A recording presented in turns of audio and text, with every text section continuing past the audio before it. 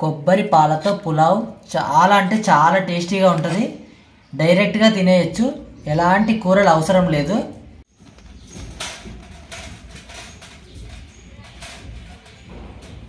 కొబ్బరి పాలతో పులావ్ చాలా టేస్టీగా ఉంటుంది. హాయ్ ఫ్రెండ్స్ అందరూ ఎలా ఉన్నారు? నేను బాగున్నాను. మీరు అందరూ బాగుండాలని మనస్ఫూర్తిగా కోరుకుంటున్నాను. మీ సపోర్ట్ మాత్రం మాకు ఎప్పుడూ ఇలాగే ఉండాలి. మంచి మంచి రెసిపీస్తో మీ ముందరికి వస్తూనే ఉంటాను. ఈరోజు స్పెషల్గా కొబ్బరి పాలతో పులావ్ చేస్తున్నాను. వాటికి కావాల్సిన పదార్థాలు చిన్న ఒకసారి దగ్గరికి వచ్చి చూపి.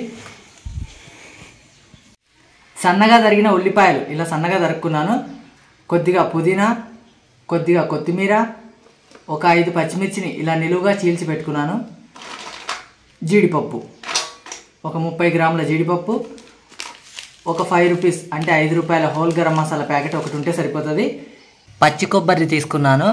అంటే ఒక టెంకాయ తీసుకున్నాను అనమాట ఒక టెంకాయలోని పచ్చి కొబ్బరి మొత్తం తీసుకొని ఒక మిక్సీ జార్లో వేసుకొని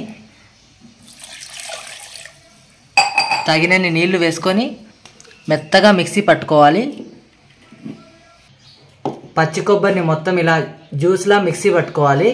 నేను ఒక రెండు మూడు సార్లు మిక్సీ పట్టుకున్న తర్వాత మరొక అర గ్లాస్ నీళ్ళు వేసుకున్నాను. అర గ్లాస్ నీళ్ళు వేసుకున్న తర్వాత మళ్ళీ ఒక రెండు సార్లు మిక్సీ పట్టుకున్నాను. ఒక గిన్నె తీసుకొని కొబ్బరి పాలను వడగట్టుకోవడానికి ఒక క్లాత్ తీసుకున్నాను.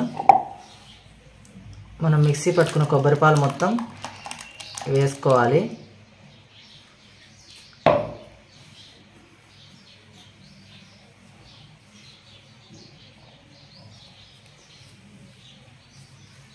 మరి ఎక్కువ నీళ్ళు వేసుకుంటే కూడా కొబ్బరి పాలు చిక్కగా రావు కాబట్టి తగినన్ని వేసుకుంటే సరిపోతుంది.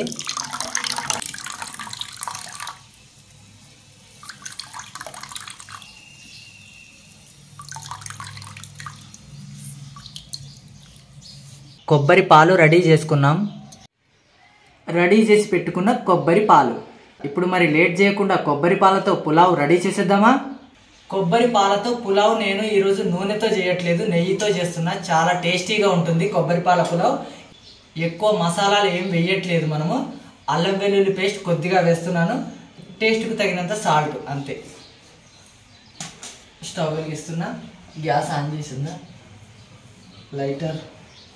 స్టవ్ వెలిగిస్తున్నా. స్టవ్ కుక్కర్ గిన్నె పెట్టుకుంటున్నా. కుక్కర్లో అయితే ఐదే ఐదు నిమిషాల్లో పులావ్ తయారు చేసుకోవచ్చు.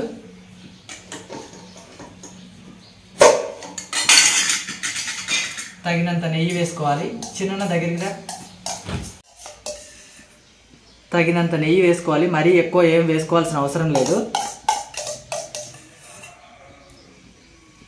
కొబ్బరి పాల పులావ్ తయారు చేయడానికి ఒక గ్లాస్ బియ్యం తీసుకుంటున్నాను. అంటే అర కేజీ వరకు బియ్యం తీసుకుంటున్నాను. వీటిని కడిగి నానబెట్టడం అట్లాంటివి ఏమీ చేయలేదు నేను. మనం మసాలా అంతా రెడీ చేసుకున్న తర్వాత అప్పటికప్పుడు కడిగి వేసుకోవాలి. నెయ్యి వేడెక్కిన తర్వాత హోల్ గరం మసాలా ఐదు రూపాయల హోల్ గరం మసాలా ఒకటి మొత్తం వేస్తున్న ప్యాకెట్.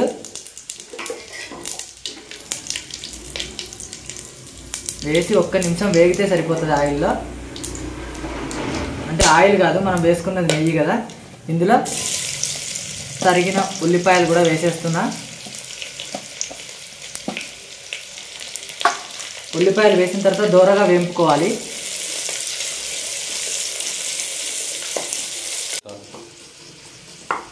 ఉల్లిపాయలు వేగేటప్పుడు నేను పచ్చిమిర్చి కూడా వేస్తున్నా.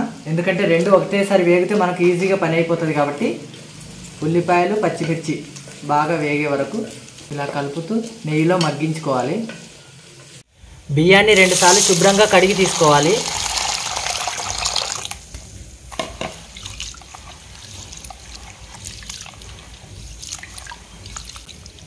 రెండు సార్లు కడిగితే సరిపోతుంది. బియ్యాన్ని రెండు సార్లు శుభ్రంగా కడిగిన తర్వాత తగినన్ని నీళ్ళు వేసుకొని ఒక్క రెండు నిమిషాలు పక్కన పెట్టుకుంటే సరిపోతుంది. ఉల్లిపాయలు మగ్గిన తర్వాత జీడిపప్పు వేసుకుంటున్నా. జీడిపప్పు వేసిన తర్వాత ఒక్క రెండు నిమిషాలు నేతిలో మగ్గాలి జీడిపప్పు. అప్పుడే చాలా బాగా టేస్ట్ వస్తుంది కాబట్టి ఒక్క రెండు నిమిషాలు మగ్గితే సరిపోతుంది. కొద్దిగా అల్లం వెల్లుల్లి పేస్ట్ వేస్తున్నా. అల్లం వెల్లుల్లి పేస్ట్ వేసిన తర్వాత పచ్చివాసన పోయే వరకు మరొక నిమిషం వేగనివ్వాలి.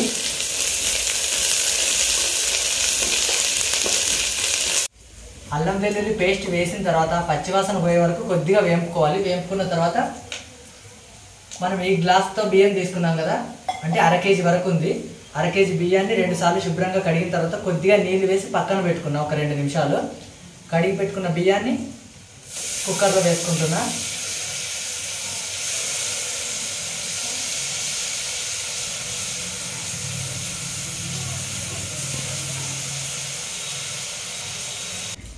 బియ్యం మొత్తం వేసిన తర్వాత ఒకసారి మొత్తం కలుపుకుంటున్నా. చిన్న ఒకసారి దగ్గరగా.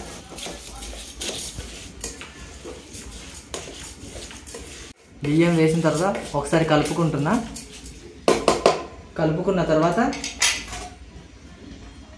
కొద్దిగా కొత్తిమీర కొద్దిగా పుదీనా వేస్తున్నా. పుదీనా వేసి మరొకసారి కలుపుతున్నా.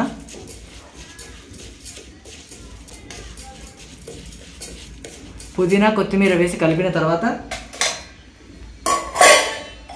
మనం ఏ గ్లాస్తో బియ్యం తీసుకున్నామో అదే గ్లాస్తో కొబ్బరి పాలు తీసుకోవాలి.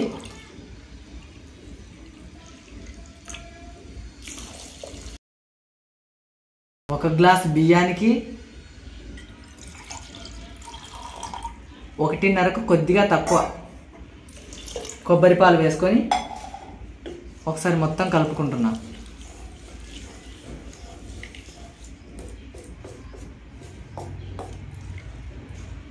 ఎందుకంటే మనకు పులావ్ పొడి పొడిగా రావాలి కాబట్టి కొద్దిగా నీళ్ళైనా పాలైనా తక్కువగా వేసుకోవాలి. ఒక గ్లాసు బియ్యానికి ఒకటి పావు కొబ్బరి పాలు వేసుకున్నాను. ఒకసారి మొత్తం కలిపిన తర్వాత టేస్ట్కి సరిపడంత సాల్ట్ వేసుకోవాలి. సాల్ట్ వేసి మరొకసారి కలుపుకుంటున్నాను.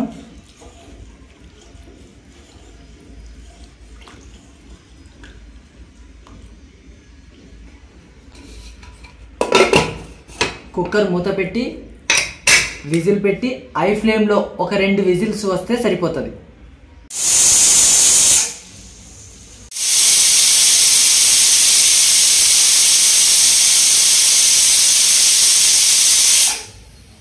రెండు విజిల్స్ వచ్చిన తర్వాత స్టవ్ ఆఫ్ చేస్తున్నా. స్టవ్ ఆఫ్ చేసిన తర్వాత వెంటనే మూత తీయకుండా ఒక పది నిమిషాల పాటు పక్కన పెట్టుకోవాలి. అప్పుడే అన్నం అనేది బాగా మగ్గుతుంది. మనకు పులావ్ అనేది బాగా టేస్టీగా రెడీ అవుతుంది కాబట్టి మరొక పది నిమిషాల పాటు అట్లే ఉంచుకుందాం మూత తీయకుండా. పది నిమిషాల తర్వాత విజిల్ తీసేస్తున్నా. లోపల ఉండే వేడి ఆవిరంతా వెళ్ళిపోయి ఉంటుంది. అన్నం బాగా మగ్గి ఉంటుంది. చిన్న దగ్గరికి వచ్చి చూపించినాను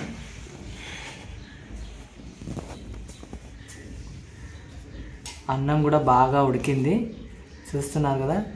చాలా చక్కగా రెడీ అయింది కనిపిస్తుంది కదా? కొబ్బరి పాలతో పులావ్ చాలా అంటే చాలా టేస్టీగా ఉంటుంది. డైరెక్ట్గా తినేయచ్చు.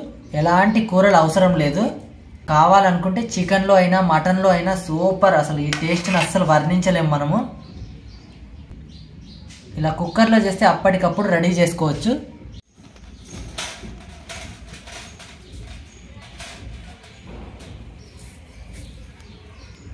కొబ్బరి పాలతో పులావ్ చాలా టేస్టీగా ఉంటుంది. మీరు కూడా తప్పకుండా ట్రై చేయండి. కొబ్బరి పాల పులావ్ కనుక మీకు నచ్చినట్టయితే ప్లీజ్ లైక్ చేయండి షేర్ చేయండి సబ్స్క్రైబ్ చేయండి. వేడి వేడిగా రెడీ చేసుకున్నాం. కొబ్బరి పాలతో పులావ్ డైరెక్ట్గా తినేయచ్చు. ఎలాంటి కూరలు కూడా అవసరం లేదు. మనం కావాలంటే చికెన్ అయినా మటన్ అయినా స్పైసీ కర్రీలతో తింటే ఇంకా ఎక్సలెంట్గా ఉంటుంది. నేను ఇంకా వెయిట్ చేయలేను. డైరెక్ట్గా తినేస్తున్నాను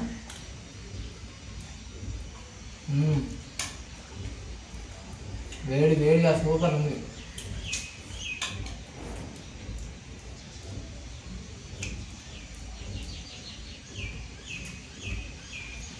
కొబ్బరి పాలకు బెస్ట్ కాంబినేషన్ అంటే నెయ్యి వేసుకుంటే సూపర్గా ఉంది. ఆయిల్ కంటే కూడా నెయ్యితో ట్రై చేయండి. చాలా టేస్టీగా ఉంది.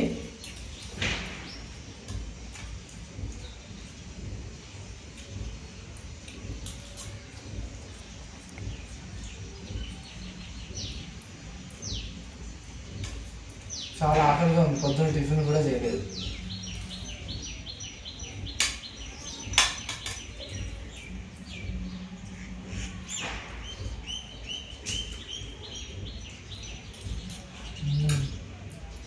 సూపర్. సూపర్ అంటే సూపర్. మీరు కూడా తప్పకుండా ట్రై చేయండి. కొబ్బరి పాలతో పులావ్ చాలా టేస్టీగా ఉంటుంది. కుక్కర్లో ఐదు ఐదు నిమిషాల్లో తయారు చేసుకోవచ్చు. కొబ్బరి పాలతో చేసిన పులావ్ వీడియో కనుక మీకు నచ్చినట్టయితే ప్లీజ్ లైక్ చేయండి షేర్ చేయండి సబ్స్క్రైబ్ చేయండి.